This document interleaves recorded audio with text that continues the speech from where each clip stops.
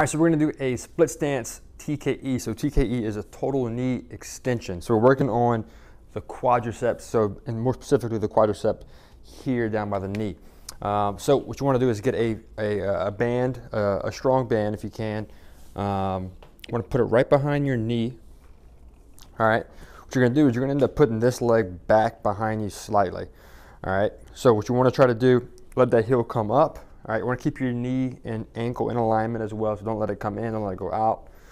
What you want to do is push that heel down to the ground and push that back of the leg, back of your knee behind you. Squeeze that quad, let it come back.